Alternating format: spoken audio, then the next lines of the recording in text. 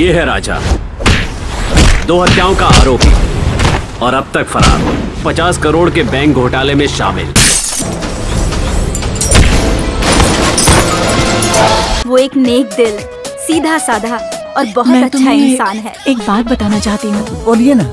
मुझे तुमसे प्यार हो गया है।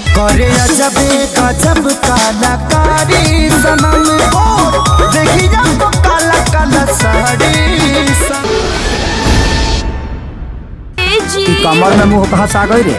मेरे राजा जान। मैडम जी हाँ लॉकडाउन वाला सिस्टम हटा दीजिए। हाँ, वो लड़की के साथ एक और कोनो बातें खत्म कर आज बता ही के पड़ी कि तू तो हमसे कितना प्यार करेला? प्यार?